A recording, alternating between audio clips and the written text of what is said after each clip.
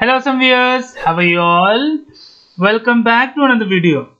Guys, in this video we are going to discuss how to add an extension of MongoDB in Visual Studio Code.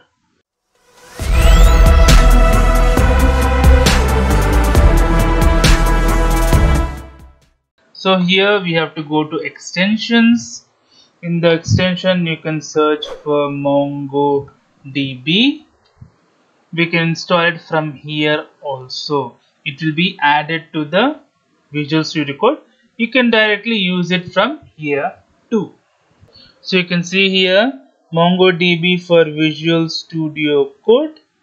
Click on here. This is MongoDB for VS Code. It is version 0.9.3 I'll click on install. It will try to install everything yeah.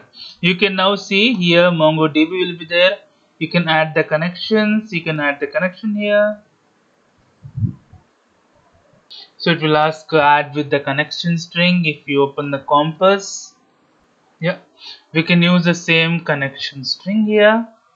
So let me go to visual studio code. We can connect here. Save it. Enter to confirm it see our local host is connected. So we have the same admin system and local files. So that's it for the video guys. If you like the video please click on like.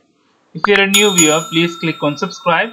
Till then guys take care. Have a great day. Bye bye